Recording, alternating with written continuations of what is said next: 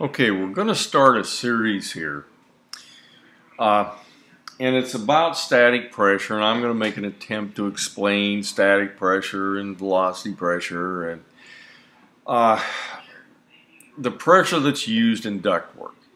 Now to start off with, this is not in large industrial or very heavy commercial equipment.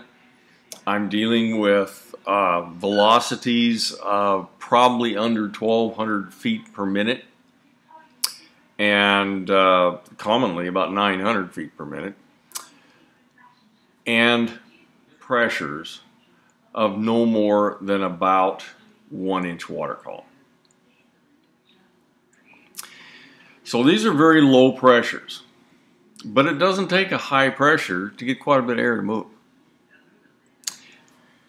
Okay, now there are three parts to any of these ductwork systems that we're dealing with. Okay, there's a return air here. This is air coming back to the air handler. Air handler's right here.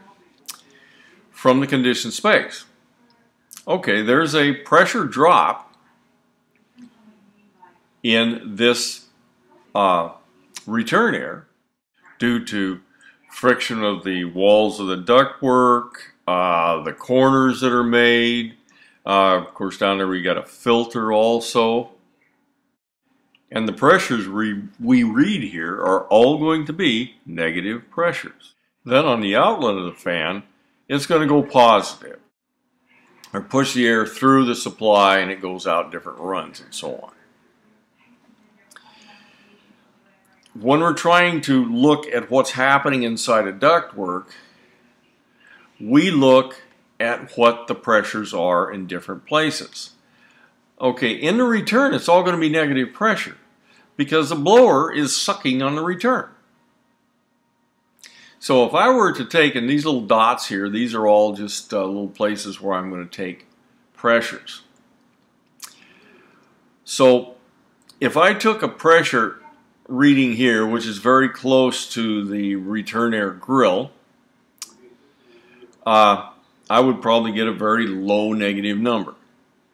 If I went down here, the negative number would be higher because we went around the corner and we have friction with the walls of the duct.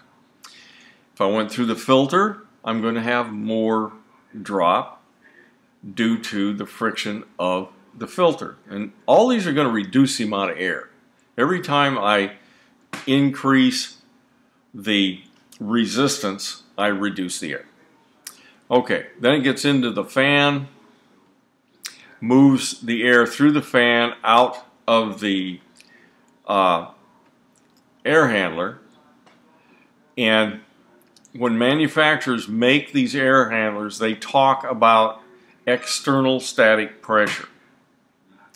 They have accounted for the pr uh, pressure loss inside here, so we don't have to deal with it if they say their equipment can run at one inch water column external static pressure, then that means uh, my total static pressure, it will work up to one inch water column.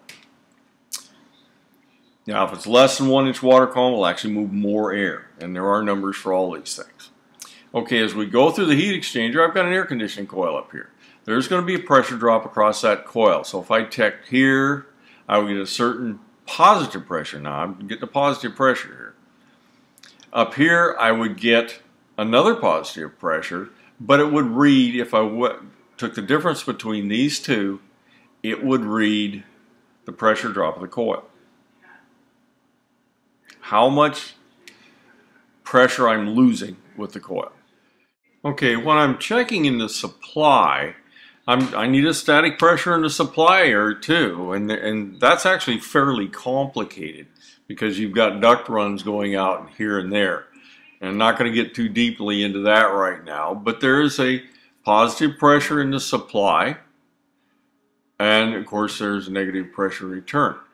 Okay, on the next one, we're going to go ahead and take some uh, static pressure measurements on ductwork uh, with the fan operating so we can see how these measurements are ta taken and what they look like.